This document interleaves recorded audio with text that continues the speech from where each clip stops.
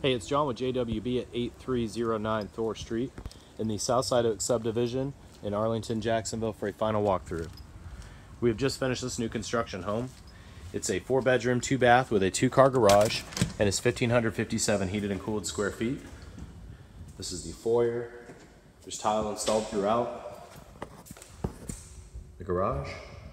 There is an irrigation system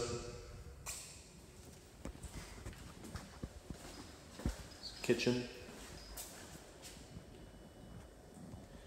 and the dining area and living room. This is the main hallway. There's a closet for the washer and dryer. This is bedroom one.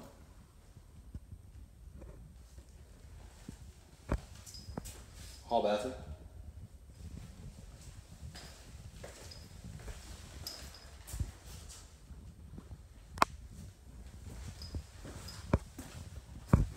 Bedroom two.